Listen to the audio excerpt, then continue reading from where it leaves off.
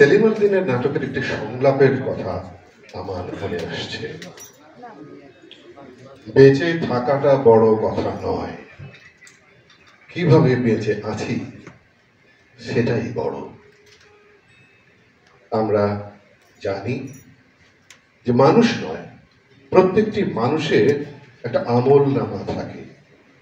যদি আমরা তা অনুসরণ করি, তাহলে জানতে পারি বেঁচে থাকা কাকে বলে? এই যে কাকে বলে, এই জিজ্ঞাসা যতদিন বেঁচেছেন ডক্টর এনামুল হক, তার ছিল। এবং নেই সে কথা আমরা আজও বলতে পারি না। না থাকলে আমরা সমবেত হয়েছি কেন? সেই টানেই তো। আমি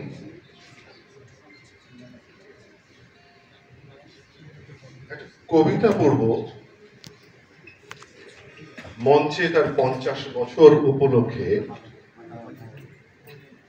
সৈয়দ শামসুল হক লিখেছিলেন পুরো কবিতাটা না, শেষ চারটে লাইন আমি আজকের দিনে নিবেদন করতে চাই। কত না নাটকে, কত চরিত্রের উপকার যে মানুষ তাকে, কি দিতে পারে এ কবি?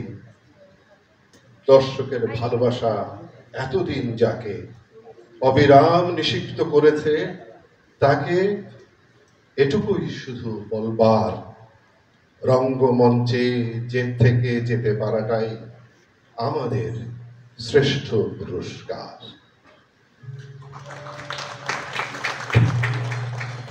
আমরা আজকে যারা এই অনুষ্ঠানে উপস্থিত রয়েছি, প্রত্যেকেই বিশ্বাস করি তার জন্মদিন আজকে এই মঞ্চে তিনি নেই। তিনি শ্রেষ্ঠ পুরস্কার হয়ে গেছেন আমাদের জন্য এবং এই মঞ্চেও তার জন্য শ্রেষ্ঠ পুরস্কার হয়ে আছে এবং থাকবে।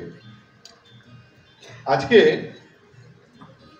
আপনারা জানেন যে উদযাপনটা খুব বিশেষভাবে হতে চলেছে। শুরুটা আমরা দেখেছি।